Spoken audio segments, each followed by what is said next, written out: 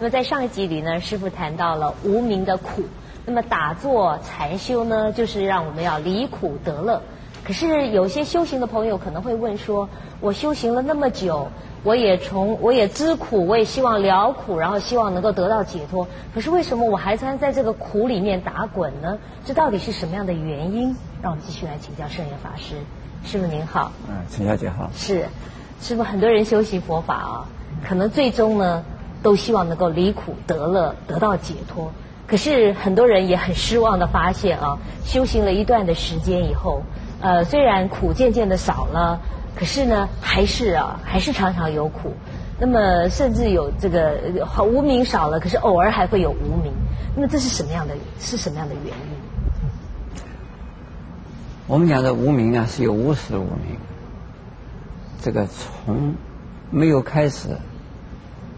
以来，就无始以来，我们的无名就是在那个地方的。这个生命没有起源，那就叫无始啊。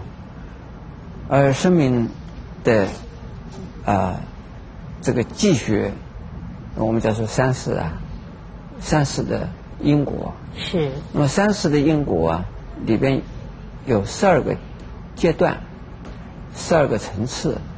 那叫做我们叫三世十二因缘。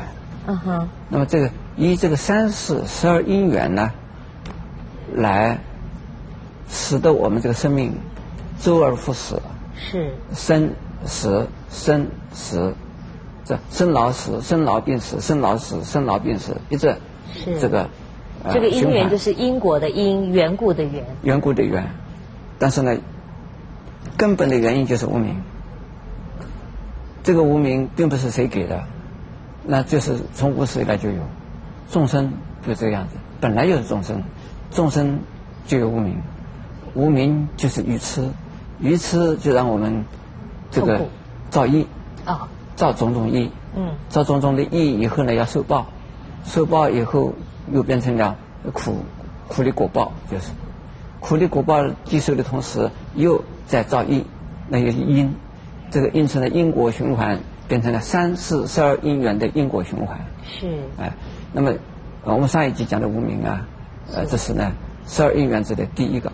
那佛法目的啊，呃，就是要如何的从啊无名而变成了名啊哈，从无名而变成名，是一下子就能够变成了呃。就是从无名就是一种愚痴啊，没有智慧；明呢就是有智慧。有了智慧以后，马上啊无名就不不存在的。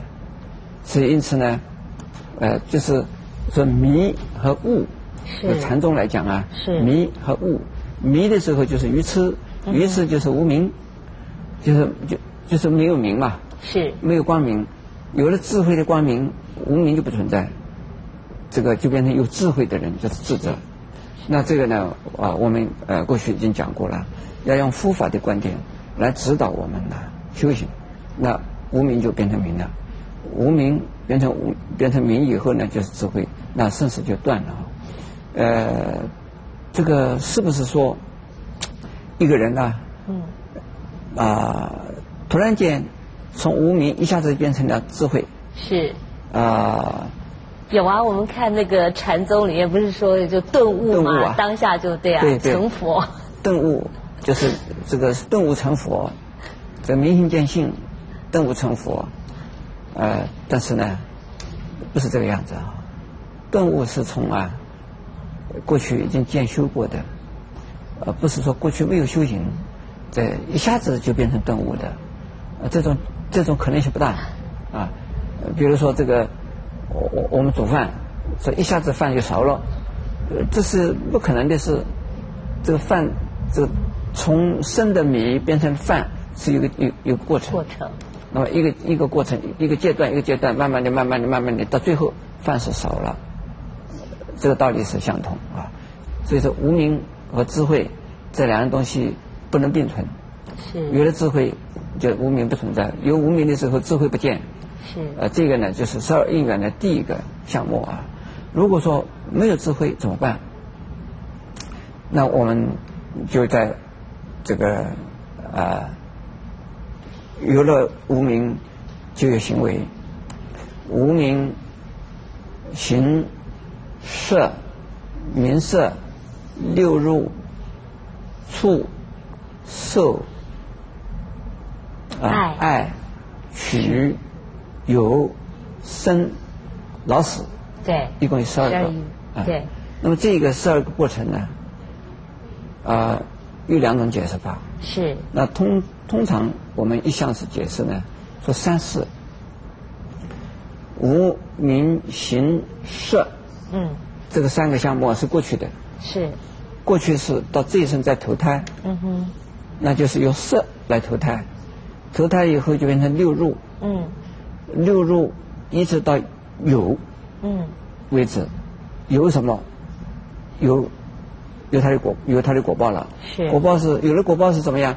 有下一生的生的老死，是，下一生的生老死，这一生呢是从啊这名色开始。嗯，啊名色名色。到有，是，然后呢这个有有这个生有这个生命，嗯。生命这个有这个生命的未来，是，这就是未来，哎，有生命的未来，未来的什么？未来的有生有老死。那这个是三三个段落，十十二因缘跟三世因果啊，一定是连在一起的，这是一种解释法。是。那么另外还有一种解释法，是，说这一生之中啊，就是观观十二因缘，观这一生之中就十二因缘，哦，观一生之中，我们一、嗯。一开始就有啊无名，无名，比如说我们有烦恼就是无名，无名以后呢就是有行为，有行为啊，这个行为行为的结果变成了色，那是一色二再来看我们有有身体的六根。嗯。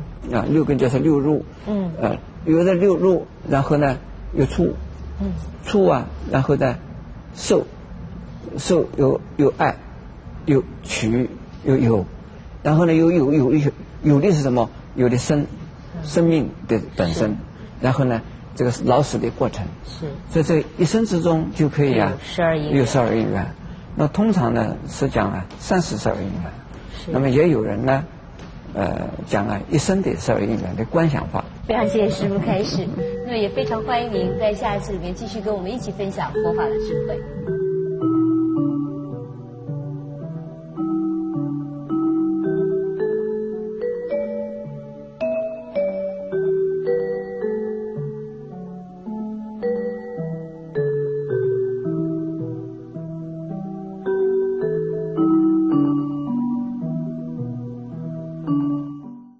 在上一集里呢，师傅为我们说明了什么叫做十二因缘，以及十二因缘跟三世因果的关系。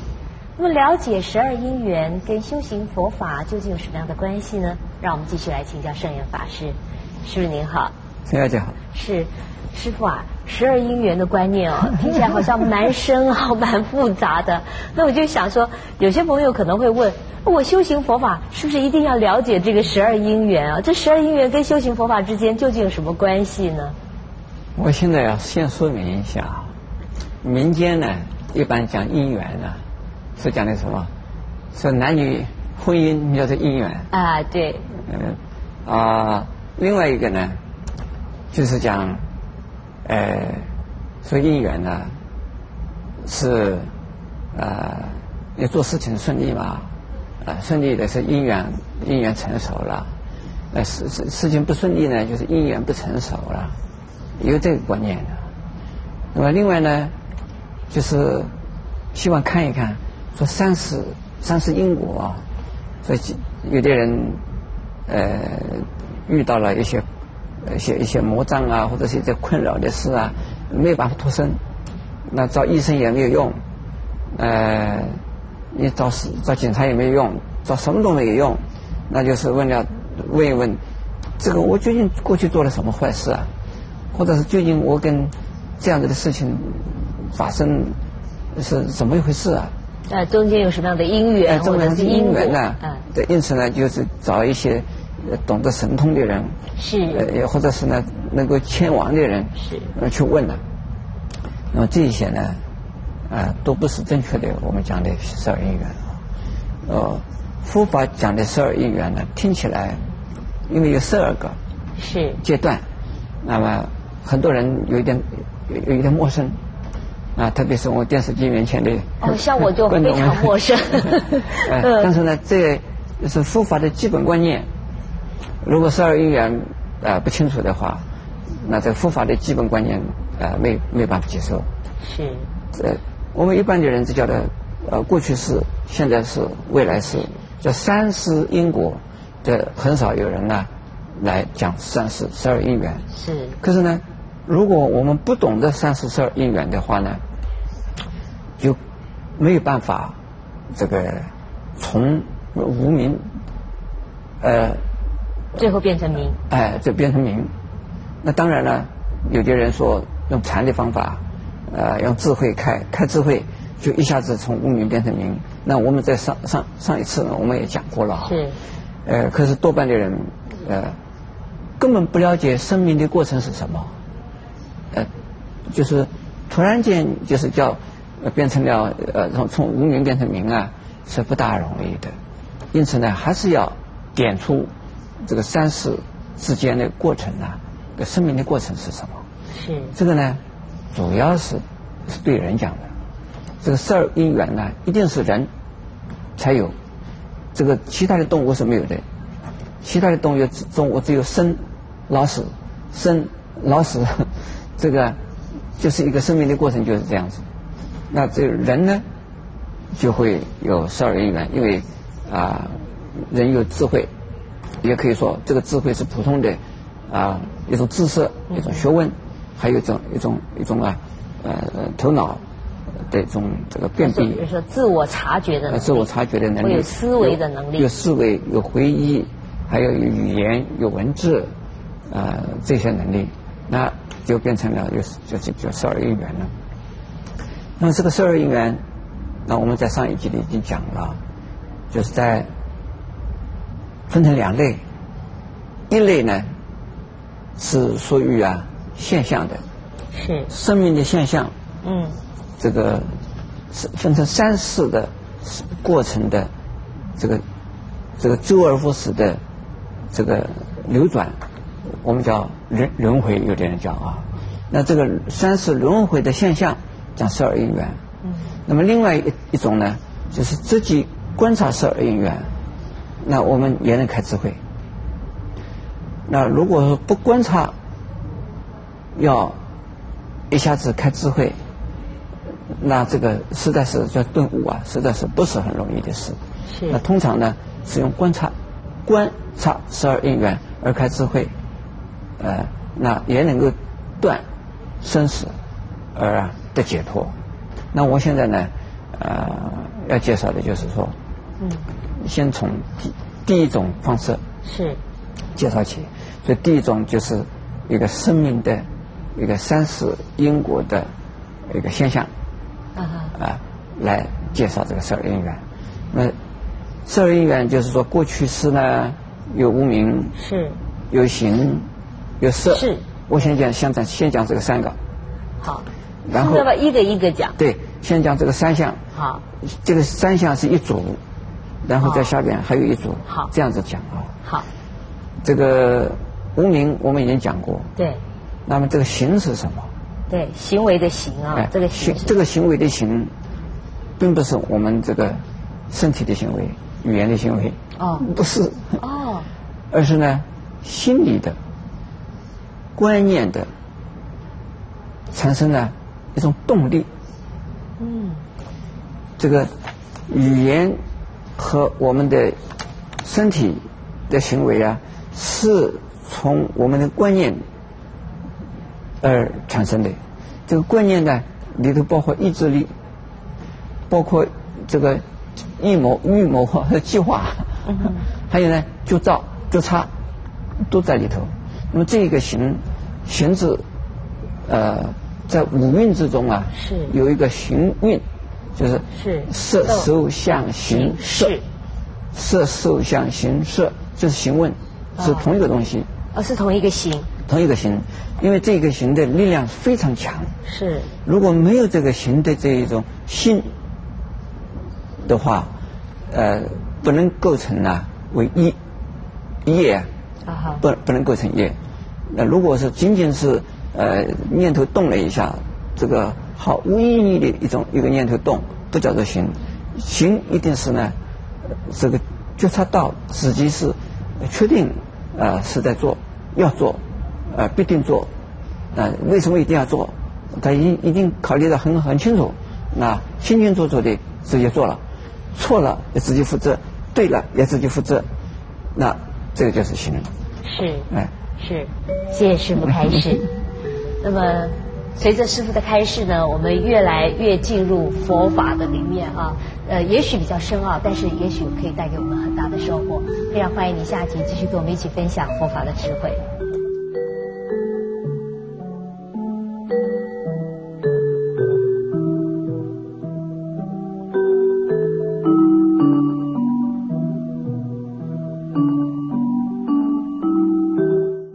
在上一集里呢，师傅为我们说明了了解十二因缘的重要性，同时呢，也为我们解释了十二因缘里面的行到底是什么意思。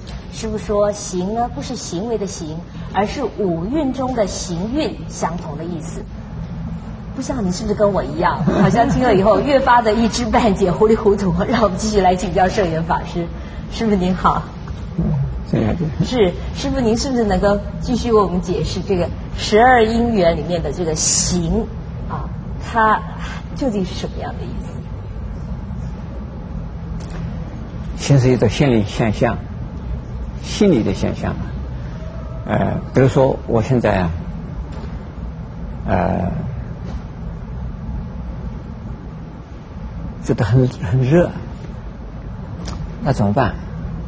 热这是一个感觉，感觉，那怎么办？这第一脱衣服，第二呃喝水，第三用这个电风扇或者是开冷气机，这个还有什么办法？这是想办法，想的办法的时候呢，确定了，我照着去做，脱衣服就脱了，喝水就喝了，嗯，啊，这个是或者是这干干干脆就泡泡到水里面去，是那就泡了。但是呢，还没泡，就决定了自己的心啊，你决定要做什么，怎么做法，这就是行。就是心。那决定要怎么做法，他这个就跟我们的身体啊动作就连在一起了。是决定要做而做了，这个决定要做而做了，那就是啊心理的行为。所以这个人的身体的行为和语言的行为，如果跟心的行为，也就是意意志的意啊嗯啊行为，如果不相应，如果不配合，我们叫三意不相应。有的人嘴巴哇啦哇啦哇啦哇啦讲，嗯他头脑里头啊，他并没有啊、一定的这个预想要讲什么，这是嘴巴讲。那这种人呢，就是他自己不知道他讲什么，讲完以后就语无伦次，他不负责任的讲完了。那这种人讲话，他自己也不知道他讲的是什么，那这个跟行没有什么关系，不负责任。行的时候呢，一定是啊非常清楚的，自己这个有个有个决断，要果断，要做什么，我知道要做什么，所以它是一个行为的动力，行为的动力对。如果没有行没有这个心理行为的动力，你虽然有身体的行为，这个不造成呢，呃，这个因果的报应。比如说，呃，有人呢有智障，他这个身体有行为，那这个身体行为他随便动一下，打着人了，他不是要打，他自己没有想要打人，他不知道要打人，但是呢，身体打着人了，那这个行为是不负责任的，不需要负责任。这种行为跟这个我们所以这个我们讲的现在这个行呢是没关系。动机的后果比这个行为的后果还要严重。对，是。哎，那么呃无无名就是观念的愚痴，是然后就开始产生一个观呃这个有一个动力想一个动机去做，对然后呢呃，接下来就是行啊，然后对就做了，然后接下来就是。那么师傅是不是继续给我们解释说是？这三个是一组的，那个是又是什么？是，就认识的是。对认识的是，其实就是一种力量。这种力量叫做业，业，这个我们说啊，这个你造了什么业？呃，造了善业、恶恶业，呃，那造了业怎么造的呢？因为有他的自己心理的行为，而产生了自己的这个身体的行为、语言的行为，造成的结果，那就变成了这种力量。这种力量呢，就变成叫做因。因啊，嗯，这个因什么？就是说，我们下边要得结果的，哎，这个因种下来以后，下边有结果，以后有结果，在还没有成为结果之前，这个储藏着这个力量的，那个叫做色，是认识的色，哎，认识的是这个这个识字，就是我们讲的神色，嗯，啊，这个这个是。不一定就是意意识的色、认识的色，而神识的色。嗯。所以神识，也就是说一个生命的主体。生命的主体，主体啊，从这一生到来生，从一生又一生，它这个主体就是就是在这个啊，在那个色。这个色是什么原因而成构成的？色本身并不存在。色本身并不存在，就是那个力力量，什么力？就是那个业的力量。怎么是哪里来的业的力量？就是因为行，嗯，因为无名而变成了行，行的力量就构成了色。这个是呃，通常的人不知道，呃，这个活着的人也不知道，这个是什么东西不晓得。但是呢，生命的过程之中有这个东西。如果没有这个东西，那人从前生到这一生，那就怎么来的？所以我们讲投胎，人呢死了，完了以后投胎是什么去投胎？一般的人讲，就叫神识。嗯，对。啊，就是那个东西，就是第三个字，那个这个十二因缘种中的第三个神识如胎。那个神识是不是说他当时啊？有没有思想意识？有没有意志？没有。是。这是这个力量，神识就是一股力量，这有力量。那这个力量呢？是不是说有身体？有。这个身体呢？从这一生死亡到来生还没投胎之间，中间有个身体叫做中阴身，啊，这个身体叫做中阴身。对，我们也听过这个。啊，身体一共有三种，本。始终啊，本始终，那这个三种中阴就是本就是根本，死的死的死亡的时候，那是终就是啊，从生与死之间有这么一个中阴身，啊，那这个中阴身呢，其实是什么？就是力，就是业力构成的一个身体，这个身体就投胎，一般的人叫做灵魂。是，见师傅开始。那从师傅的开示里面，我们可以发现，佛法呢的确是充满着深奥的哲理，而且结构非常的严谨。欢迎你在下集里面继续跟我们一起来分享佛法的智慧。